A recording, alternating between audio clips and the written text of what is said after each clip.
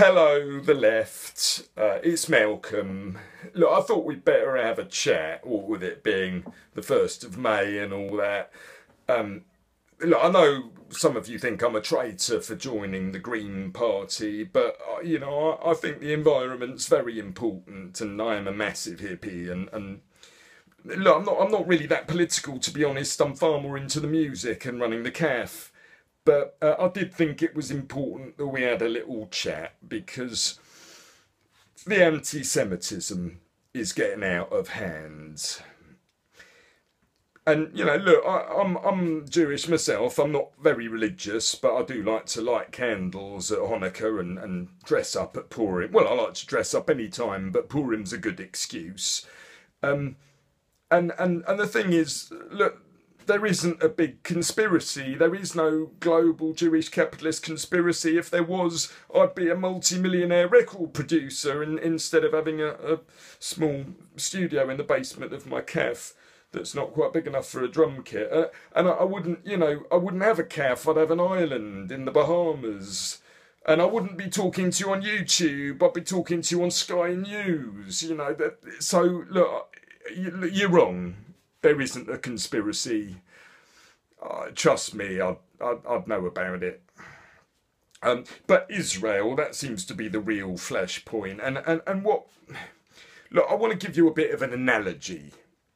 Now, you know, my grandfather was a member of the Labour Party for a great many years. Um, and then one day, out the blue, he announced that he was a syndicalist communist.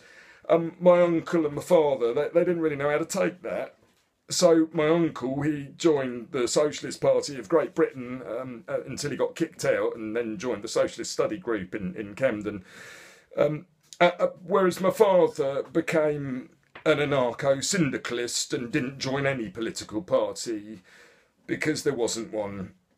And they really didn't get on. They argued for many, many years about many, many things. With you know, ultimately my uncle following Marx and my dad following Bakunin, who was a terrible anti-Semite himself, but um, he, he, did sort of think that he was right about a lot of stuff. Apart from that, obviously, he didn't like that at all, being Jewish himself.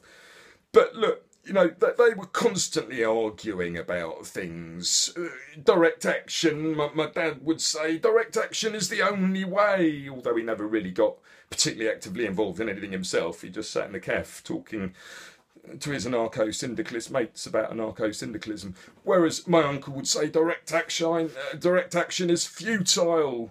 Um, while actually getting very active in, in lots of demos and, and marches against things like the poll tax. Um, and they, they were constantly arguing. They had very different views on, on how you should um, solve the the peace problem in Israel, for example. My, my uncle used to say there should be no two state solution, there should be a single state called Judaistan, and it would be a socialist state, and everyone would live in harmony. And my dad would say, "No, the state is irrelevant. Everyone should live in communes, uh, and they would they would live in peace and harmony in in self governing communes."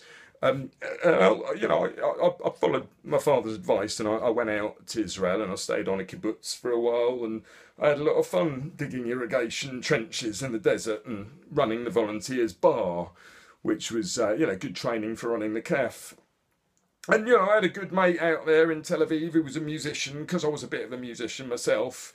Not particularly successful, but he was a great guitarist. He had long hair. He looked a bit like Slash from Guns N' Roses we used to sit around listening to Nirvana and going to raves. And I mean, at the time, everybody seemed to be quite lovey. You know, they seemed to love each other a lot, and there was a lot of talk about peace, which obviously never happened, which is a shame. Um, I tried to track him down a great, um, you know, a few, a few years later, and I didn't have much luck. Eventually, I found out he died in the army, which was a, a real shame. I think what a lot of people don't realise is is the fear that there is um, on both sides.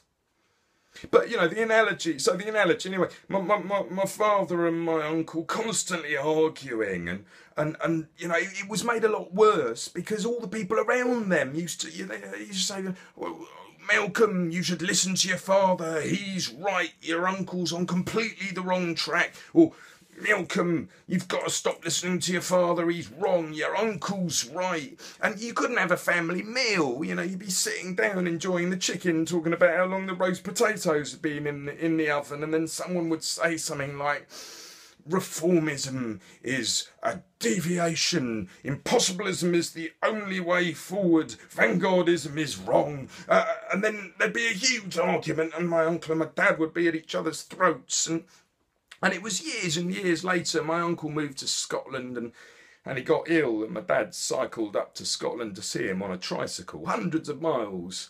And they, they sat down and they had a barbecue and a beer and they made up.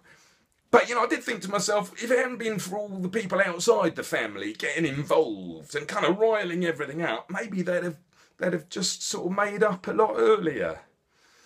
So I suppose what I'm trying to say is, look, if if you haven't got a vested interest, because you know, my, both my uncle and my dad had a vested interest, and the one thing they did always used to say is, well, you know, at least at least Israel's there if we need it. So if you haven't got a vested interest on either sides, and you haven't got a solution, God knows I haven't got one. Perhaps you'd be better off just not saying anything.